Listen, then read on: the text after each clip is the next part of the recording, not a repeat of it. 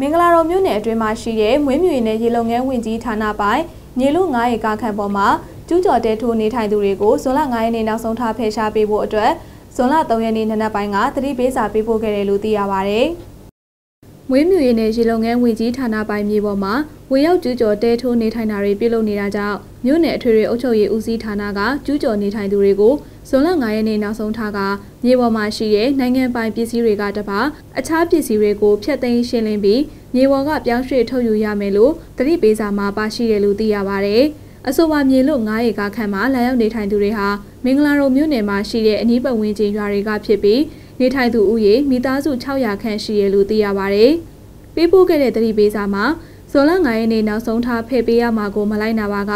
မြန်မာနိုင်ငံတော်အောက်ပိုင်းမြို့ရွာရှိမြေယာဥပဒေပုံမှန်21နဲ့အရေးယူဆောင်ရွက်သွားမယ်လို့လည်းပါရှိခဲ့ပါတယ်။ဒါတွေကတ်တယ်ပေါ့အခု9ရက်အတွင်းကိုဖယ်ပေးရ မယ်ဖယ်ပေးရမယ်ထွက်ကြလို့တယ်လို့တယ်အဲ့လိုပြောတယ်ပေါ့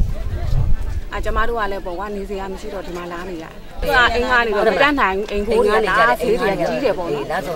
။ဈေးတွေကတအားကြီးတော့ပေါ့နော်မတက်နိုင်ဒါအပြင်ရန်ကုန်နေပြည်တော်အမြန်လန်၄မိုင်9ဖာလုံကားလမ်းဘေးမှာကျူးကျော်တဲ400ခန့်ဆောက်လုပ်နေထိုင်နေမှုကိုသက်ဆိုင်ရာကအမှုဖွင့်စစ်ဆေးနေတယ်လို့ဇွန်လ3ရက်နေ့ကသက်ဆိုင်ရာလှဲကူးမြို့မရဲစခန်းကသိရပါဗျ။ ကျူးကျော်နေထိုင်ကြသူတွေကိုဖယ်ပေးဖို့အတွက်အကြောင်းကြားခဲ့ပေမဲ့မဖယ်ပေးခဲ့တာကြောင့်အမှုဖွင့်ခဲ့တာဖြစ်ပြီးအမှုဖွင့်ထားတာနှစ်လခန့်ရှိပြီဖြစ်ခါဆက်လက်စစ်ဆေးနေဆဲဖြစ်တယ်လို့လှဲကူးမြို့မရဲစခန်းကစခန်းမူဒူရဲမှုမမဦးကဆိုပါတယ်။